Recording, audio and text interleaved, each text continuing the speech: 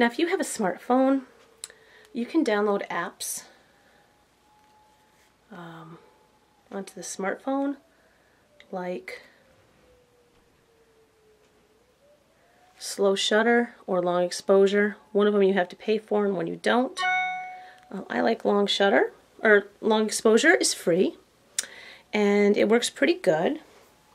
And again, what you're going to do, just like with the regular camera, is you'll use a light of some sort and you'll set it still somewhere and you'll move your phone as you take your picture.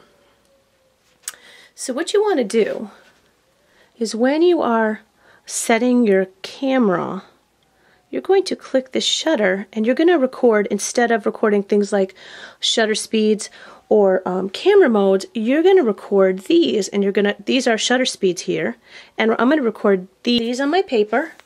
So I will record one fourth, one half, one, two, four, eight, 16, and B.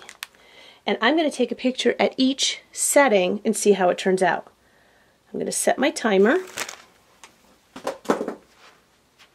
So I'll set my timer to 10 seconds and I am going to click I got to turn my light off. Okay, so I'm to take my picture.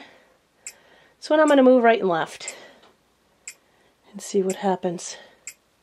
Three, two, one. Kabam! Takes the picture. Ooh, camera's having some issues. Alright, so let's try this picture at a half a second and take the picture.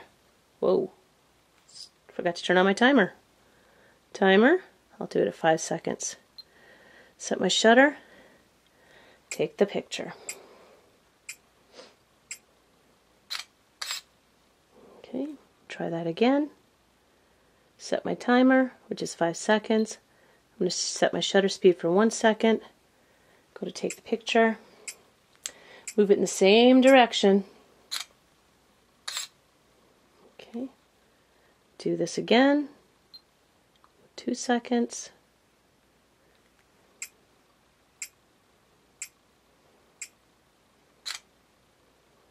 Keep going until the picture comes up on the screen.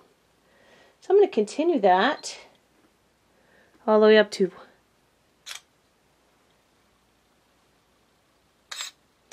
B ends when you press the shutter. I'm going to experiment until I get things right. Be sure to experiment and write down the things that you did with your camera so when you look at your pictures, you know which shutter speeds or which settings corresponded with that actual picture. Try some other settings. Maybe I'll make my time span um, a little shorter. I don't even